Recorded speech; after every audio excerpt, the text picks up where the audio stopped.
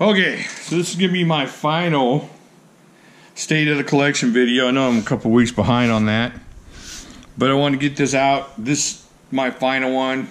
This is kind of a collection of a couple different drawers, and it's just my fixed blade collection. I know I don't go through a bunch of fixed blades on here. I don't know why. I guess I should. I could do a review on some of these. But let's get on into it real quick so we can see what I have in the fixed blade world here. All right, we're going to start kind of inexpensive. This is the buck. I bought it for the name, the Mr. Crappie. Yeah, for all you sophomores out there, let's all giggle together. Okay, then I got this. Of course, what collection would be complete without a Mora? That's a great knife, and it's pink and purple. Oh yeah, and I got this one. This one's awesome. This thing, holy heck. I think if you had to spend 15 bucks or whatever this is, 20 bucks, and go out in the jungle with one knife, this might be it. 20 bucks. Holy, holy camoli. Holy Mr. Crappie. That's a great knife. All right, here's another good one. These are some of the first ones that I ever beat up here. Remember that one? I beat that one up pretty nicely. This is a good knife. Inexpensive and just just awesome to beat up on. Take that one out in the woods and destroy it. Here's one I got for a present a couple about a year and a half ago. Yeah, little Schrade boy. Ugh, that's a lot of knife there. A lot of knife.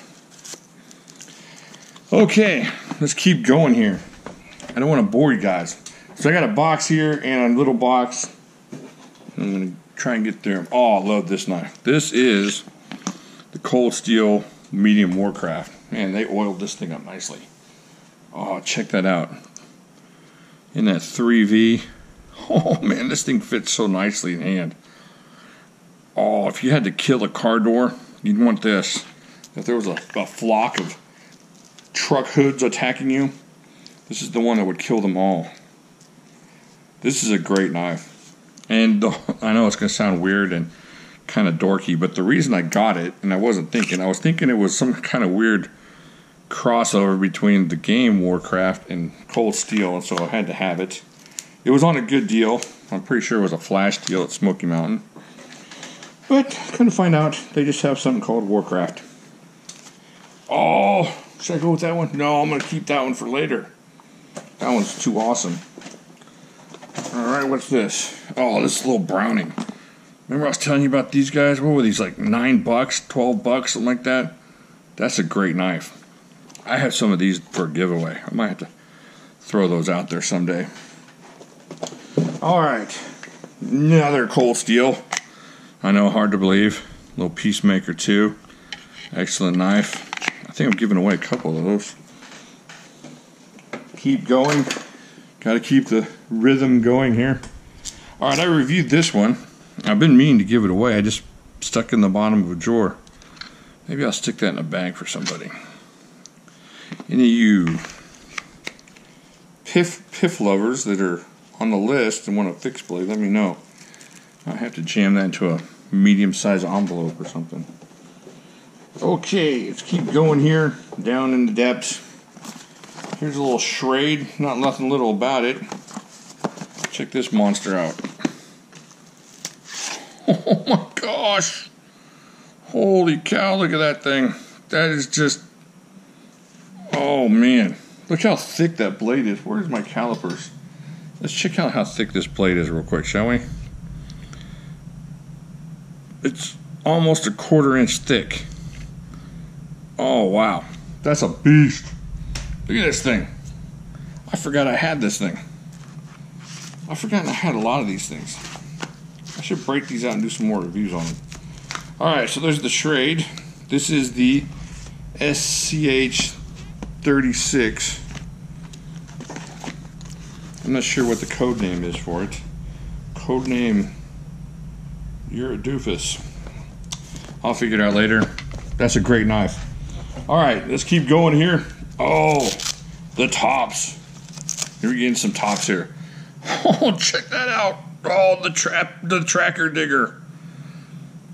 This is two sides of deadly awesomeness. So you got the world's deadliest flower shovel here. You're in the garden trying to get up those petunias, get some roots out, maybe got some crabgrass that needs to come up, and all of a sudden you're attacked by a roving gang of grizzly bears. You're set. All you gotta do is go Leonardo DiCaprio on it with this bad boy. Just slicing and dicing each way. Look at that thing. Holy cow, that thing's awesome. There's so many things you could use this for, and it's so sharp.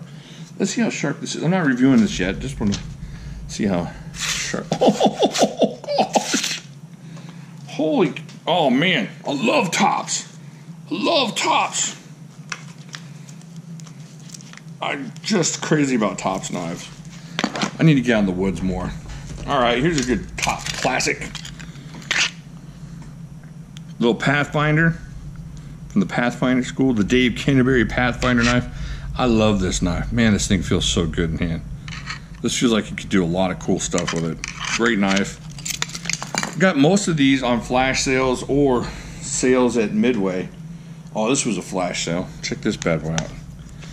Little SOG Skinner here.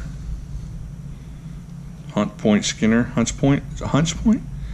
Hunts Point Skinner. S30V. Now they make the OS 8, but I lucked out and got this one for cheaper than what the OS 8 cost. This is a great little knife. Very light compared to like the tops knives. Super light. All right, let's keep going here. Oh, here's a classic. This is even more classic than the last classic I brought out. What do you think of tops? You think of? That's right. Oh, the Brothers of Bushcraft. Oh my. Oh wow. This thing. Ooh. I gotta do more reviews on these things. I got this on such a crazy deal. They had to go back. I mean, minutes after I bought this thing, they changed the deal because somebody had gotten drunk at the factory and decided, hey, let's everybody have this knife for hardly anything.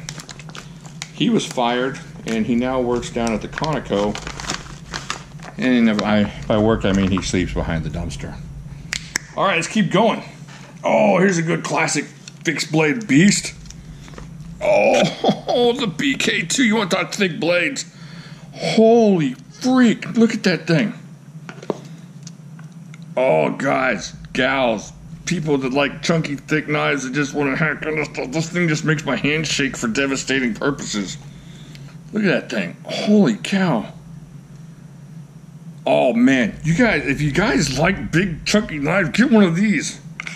This is like what is it the the SE3 or whatever that thing is, the Rat 3, the big thick one. This is like that one, but contoured a little bit better. That's amazing. Oh my gosh. Oh, I do need another sheath for that thing. I got my buddy another sheath on that. Oh, I'm running out of breath here. I'm just all. I got the vapors. These knives are something else. Oh, check this one out. This is kind of sleeker, but just as fantastic. Oh yeah, that Benchmade bushcraft knife. Check that out. Oh, that is fantastic. That's a great knife right there. This just feels useful and light. Like if you were a marathon guy and part of the marathon was skinning animals and you wanted to go and, and skin animals in your marathon of skinning, that's the one you would take with you. That thing's super awesome. All right, I got four or five left and I'm trying to determine which way to go with these. I think I've got it in my head. E mini. Yeah, I'm going this way. All right. So now this is going to tell you how awesome the rest of these are. There's four knives left, and I'm going in order of awesomeness. Least awesomeness being. Oh, holy cow! Look at that. It's like the obelisk from 2001, The Space Odyssey. Bomb, bomb in space. No, that's alien. Sorry.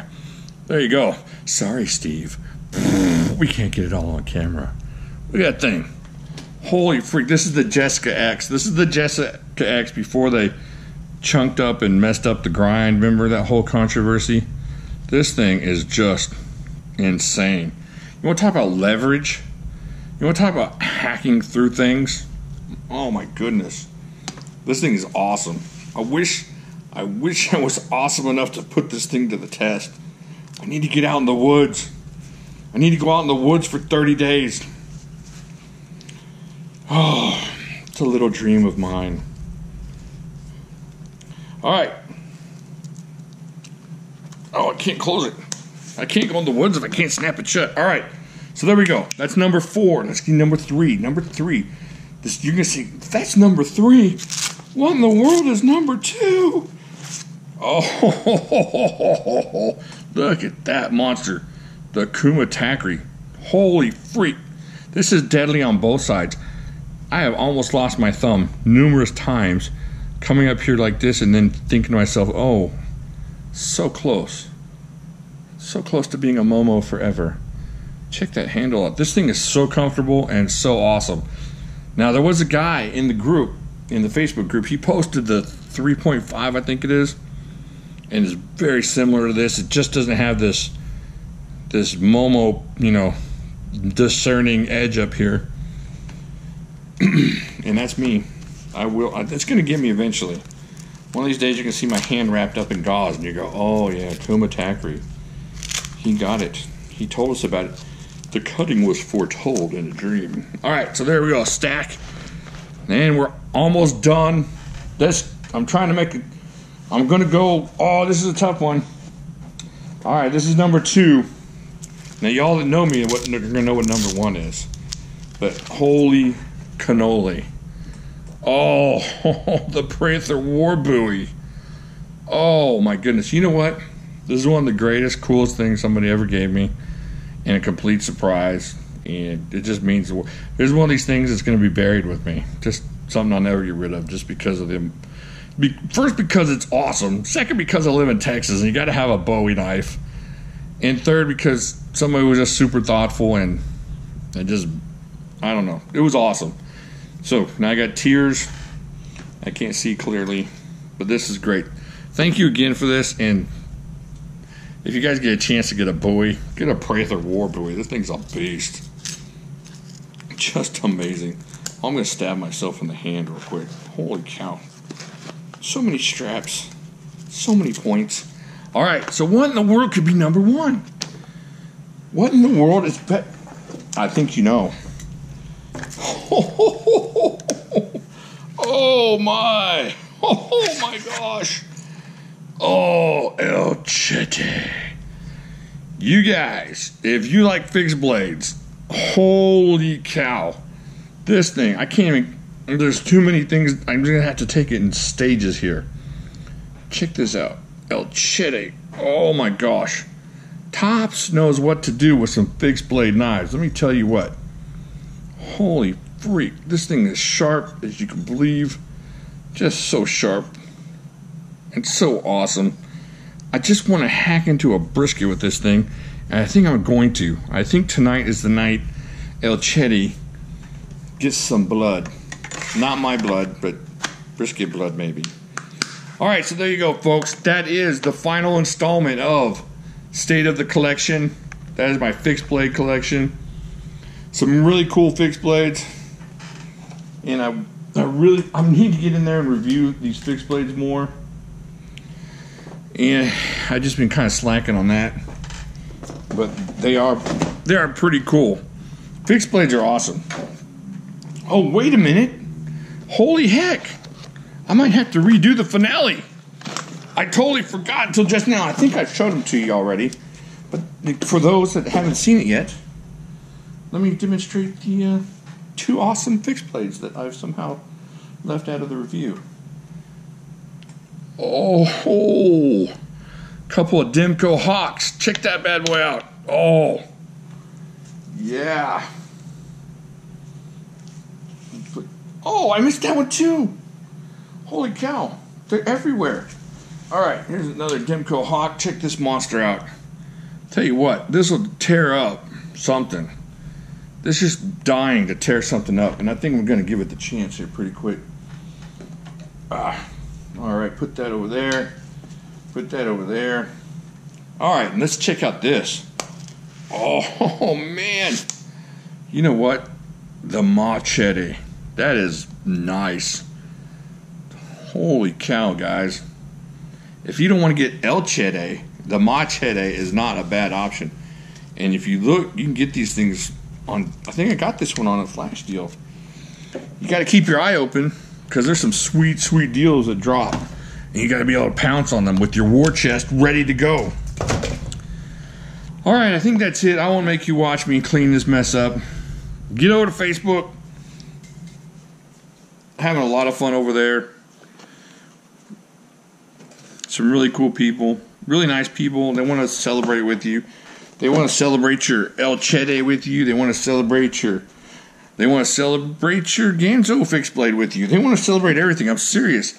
Today we probably had a we had a Ganzo cele- celebration. Somebody brought the Ganzo out and liked it, and we all liked it with them. And then somebody else had a really expensive out the front, and then some, you know, just a bunch of cool stuff. All in this one guy. He's always trying to make me angry with his his awesome collection.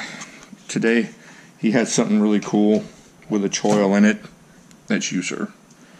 So get over there, talk to some people about knives. This you know, it doesn't have to be you just watching. You can come over there and, and chat with us and get to know us. And you might not like us, but you might like some of us. And then what you do is you get on messaging and you talk about the other person, you know, at Jimislash. He's a doofus. And then the other guy's like, yeah, I wish he'd shut up. And then you go, yeah, I wish he would. Yeah, I know it happens. I made you watch. All right. Thank you all very much for enjoying my collection with me. It wouldn't be any fun if y'all weren't watching. And I really appreciate it. I'll talk to y'all later.